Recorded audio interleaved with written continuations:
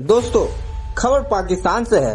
पाकिस्तान के हिंदू सांसद किशो मल, कियाल दास लगातार अल्पसंख्यकों पर हो रहे अत्याचार के खिलाफ आवाज़ उठा रहे हैं। उनका कहना है कि वह देश से भेदभाव को पूरी तरह खत्म करना चाहते हैं। इसी कड़ी में दास ने संसद के निचले सदन में विधेयक पेश कर संविधान में धार्मिक अल्पसंख्यकों का उल्लेख गैर मुस्लिम के रूप में करने का अनुरोध किया है, जिससे देश में भेदभाव खत्म करके प्रत्येक नागरिक के लिए समानता और अन्याय सुनिश्चित किया जा सके। आपको बता दें कि दास विपक्षी दल पाकिस्तान मुस्लिम लीग नवाज़ पार्टी से सांसद है। उन्होंने नेशनल असेंबली प्रक्रिया एवं कामकाज संचालन नियम 2007 के नियम 118 के तहत नेशनल असेंबली में गैर सरकारी विधेयक पेश किया है।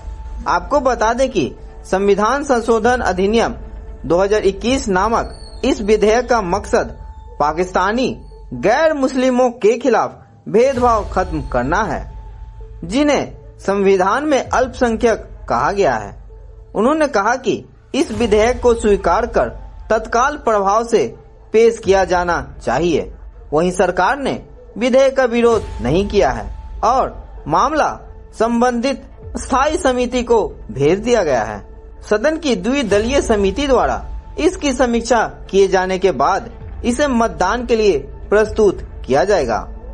वहीं दास ने विधेयक के बारे में कहा कि देश की बड़ी आबादी को अल्पसंख्यक घोषित करके उनसे भेदभाव करना संविधान 1973 की भावना के विरुद्ध है। इस आबादी ने जीवन के हर क्षेत्र और देश के विकास एवं उज्जवल भविष्य में महत्वपूर्ण योगदान दिया है। उन्होंने कहा, संविधान में चार बार अल्पसंख्यक और पंद्रह बार गैर मुस्लिम शब्द का प्रयोग किया गया है, जो संविधान निर्माताओं के आशय को दर्शाता है। लिहाजा लिहाजा अल्पसंख्यक की जगह गैर मुस्लिम शब्द का प्रयोग कर विसंगति को दूर किया जाना चाहिए। इसके अलावा उन्होंने कहा कि संविधान संशोधन पाकिस्तान में प्रत्येक नागरिक के लिए समानता और न्याय स्थापित करने का एक रचनात्मक प्रयास होगा।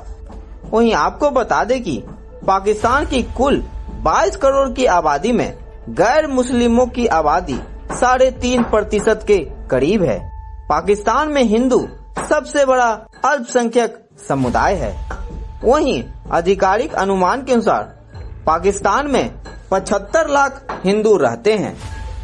हालाँकि हिंदू समुदाय के अनुसार उनकी आबादी 90 लाख से अधिक है।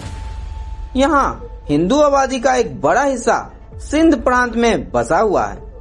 हिंदुओं के अलावा पाकिस्तान में अन्य अल्पसंख्यकों में ईसाई, अहमदी, बहाई, पारसी और बौद्ध शामिल है। आपका इस खबर पे क्या कहना है? कमेंट ज़रूर करें।